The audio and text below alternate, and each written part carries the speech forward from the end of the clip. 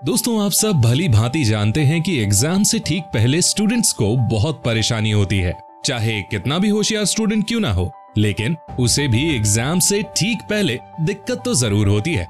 और इसीलिए देखा गया है कि क्लास का टॉपर स्टूडेंट भी पेपर की एक रात पहले ठीक से सो नहीं पाता।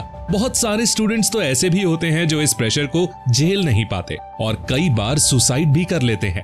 हमारे देश में अक्सर ऐसे मामले देखने को मिलते रहते हैं। इसीलिए हमने सोचा, क्यों ना आज की इस वीडियो में आपको कुछ ऐसे तरीके बता दिए जाएँ, जिसे फॉलो करके आप भी एग्ज़ाम से ठीक पहले अच्छे से तैयारी कर पाएँ। और ये तरीके हमने खुद नहीं बनाए हैं। बल्कि बहुत सारे टॉपर स्टूडेंट्स से बात करके हमने इस वीडियो को तैयार किया है। इन टॉपर स्टूडेंट्स में कई स्टूडेंट्स ऐसे भी थे जो एग्ज़ाम से ठीक एक दिन पहले क्रिकेट खेल रहे थे और उन्हें कोई टेंशन भी नहीं थी। अब आप सोच रहे होंगे कि भला ऐसा कौन कर सकता है? मगर दोस्तों, आपको जानकर हैरानी होगी कि हमने जिन टॉपर स्टूडेंट्स से बात की, उनमें से बहुत सारे स्टूडेंट पेपर से ठीक पहले वाली रात को आराम से सो रहे थे और उन्हें कोई टेंशन भी नहीं थी। दोस्तों, आप भी पेपर से ठीक पहले चैन की नींद सो सकते हैं। और आपको कोई टेंशन भी नहीं होगी। इसलिए हमारे साथ अंत तक बने रहिए। सो लेट्स बिगिन दोस्तों, जिस समय आप ये वीडियो देख रहे होंगे, अगर उस समय आपके एग्ज़ाम्स चल रहे हैं और आपके ऊपर पढ़ाई का बहुत प्रेशर है तो हमारी ये वीडियो आपको बहुत हेल्प करेगी।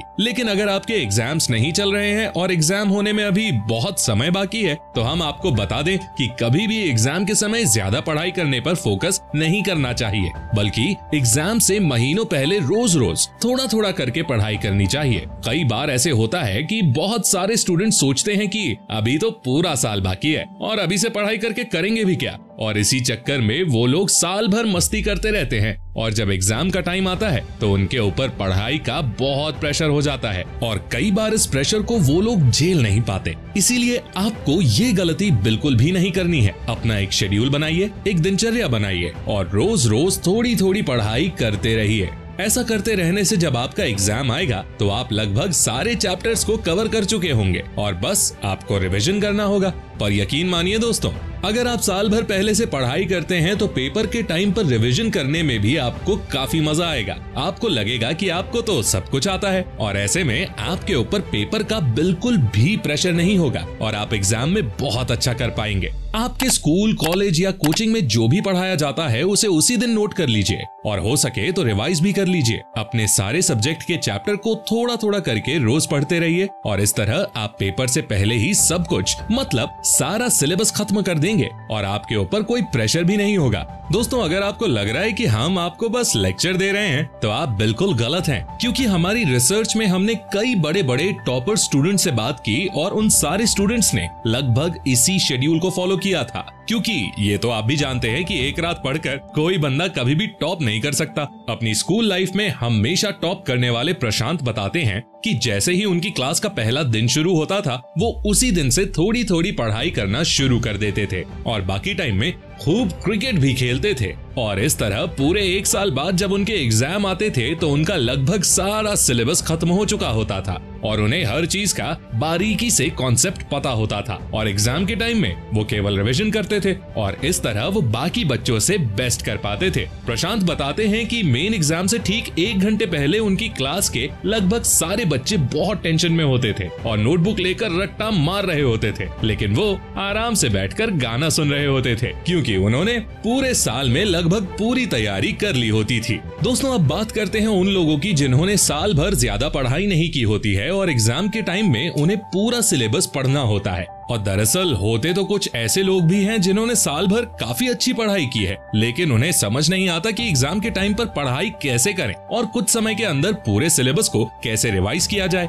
दोस्तों, सबसे पहले तो आपको अपने दिमाग से टेंशन को दूर करना है, क्योंकि जो होना है वो होकर रहेगा। एक दो दिन पढ़ाई करके आप ज़्यादा कुछ नहीं उखाड़ सकते। यहाँ हम आपको कुछ टिप्स बता रहे हैं जिन्हें फॉलो करके आप एग्ज़ाम के समय काफ़ी अच्छा प्रदर्शन कर सकते हैं। नंबर वन सबसे पहले, अपने सिलेबस में से ऐसे चैप्टर को ढूंढिए जो ज़्यादा इंपॉर्टेंट हो और पेपर में ज़्यादा क्वेश्चन इन्हीं चैप्टर से आते हैं। अब इन चैप्टर्स की सारी थ्योरी और क्वेश्चन को लिख लिख कर याद करने की कोशिश कीजिए। और दोस्तों, ये बात हम नहीं, बल्कि बड़े बड़े साइंटिस्ट कहते हैं कि लिख लिख कर किसी भी चीज़ को बहुत जल्दी याद किया जा सकता है। जब एक बार आप किसी चीज़ को अपने हाथों से कॉपी पर लिखते हैं ना तो उस चीज़ के भूलने की संभावना बहुत कम होती है। नंबर टू रिकॉल करके पढ़ाई करें। रिकॉल करने का मतलब है बोल कर पढ़ाई करना। दोस्तों, हमारा दिमाग कुछ इस तरह से काम करता है कि जब आप किसी चीज़ को बार बार बोलते हैं तो दिमाग उस चीज़ को याद कर लेता है। और इसीलिए बहुत सारे टॉपर स्टूडेंट एग्ज़ाम के समय तेज तेज आवाज़ में बोलकर स्टडी करते हैं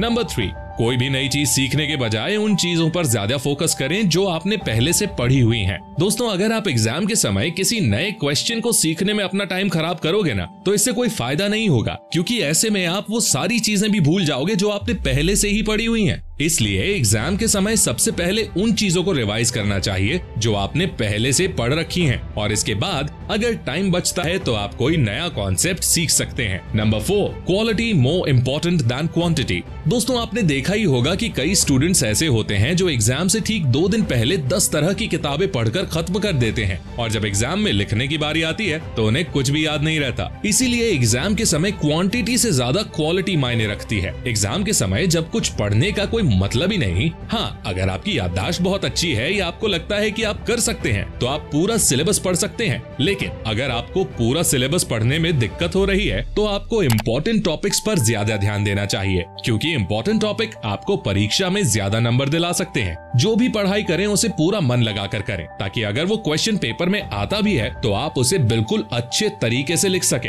दोस्तों, ऐसी कुछ चीज़ें भी होती हैं जिन्हें एग्ज़ाम टाइम पे फॉलो करना बहुत ज़रूरी होता है, वरना सारी की सारी पढ़ाई धरी रह जाती है। अपनी हेल्थ पर ध्यान देना। दोस्तों, अक्सर देखा जाता है कि एग्ज़ाम के टाइम बहुत सारे स्टूडेंट्स दिन रात एक करने की कोशिश करते हैं। और इसी चक्कर में वो बीमार हो जाते हैं। और फिर आगे क्या होता है? ये तो बताने की ज़रूरत नहीं है। इसीलिए दोस्तों एग्ज़ाम के टाइम हमेशा अपनी सेहत का ध्यान रखना चाहिए और हेल्दी खाना खाना चाहिए। क्योंकि कई बार होता है कि स्टूडेंट पेपर देने शहर से बाहर जाते हैं और पेपर से ठीक पहले जंक फ़ूड जैसे चाय, समोसे, कचौड़ी खा लेते हैं। और फिर पेपर के टाइम पर नींद सताने लगती है। इसीलिए पेपर के टाइम पर अपनी सेहत का पूरा ख्याल रखें। एग्ज़ाम के टाइम एकांत में पढ़ाई करना। दोस्तों, कई स्टडीज़ में पता चला है कि पूरे साल भर की पढ़ाई एक तरफ़ और एग्ज़ाम से ठीक एक महीने की पढ़ाई एक तरफ़ होती है। मतलब अगर आपने पूरे साल भर अच्छे तरीके से पढ़ाई नहीं भी की है और आप एग्ज़ाम से ठीक एक महीने पहले मन लगाकर पढ़ाई कर लेते हैं तो आप बहुत अच्छा स्कोर कर सकते हैं। इसीलिए एग्ज़ाम से ठीक एक महीने पहले या एग्ज़ाम के समय हमें एकांत में बैठकर पढ़ाई करनी चाहिए,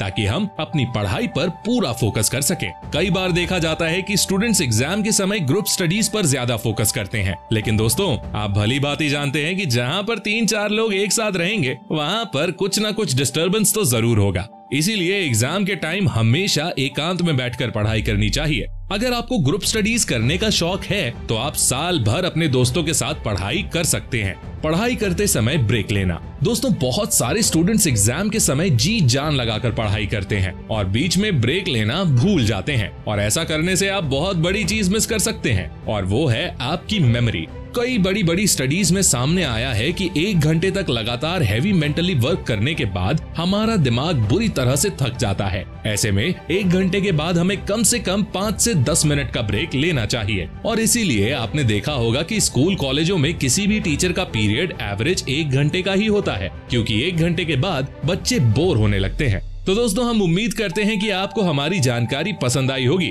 और अगर आप इस वीडियो में दी गई जानकारी को फॉलो करते हैं तो एग्ज़ाम के टाइम अब बहुत अच्छा स्कोर कर सकते हैं। और जाते जाते हम आपसे इतना ज़रूर कहेंगे कि एग्ज़ाम के टाइम ज़्यादा प्रेशर लेने की कोई ज़रूरत नहीं है। क्योंकि अगर आप सही सलामत रहे और ज़िंदगी रही तो आप इससे भी बड़े बड़े एग्ज़ाम पास कर सकते हैं। इसीलिए खुद का ख्याल रखिए, मस्त रहिए और मुस्कुराते रहिए। मिलते हैं अगली वीडियो में। तब तक के लिए take care love you all